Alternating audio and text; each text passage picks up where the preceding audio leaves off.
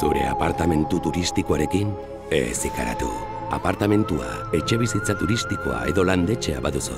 Gogoratu Nafarroako turismo erregistroan inskribatu behar duzula. Ez egitea garesti atera dakizuke. Bederatze mila euro arte, sekulako ez ustekoa.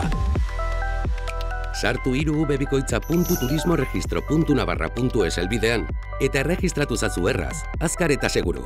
Izena eman ondoren, alokairuaren publizitatea egitean erakutsi beharko duzun kode bat lortuko duzu. Horrela, konfiantza eta segurtasuna transmitituko dituzu eta zure herrian turismo sozial eta ordenatua sortzen lagunduko duzu. Ah, eta San Fermin hauetan, ez aitzala zezenak errapatu.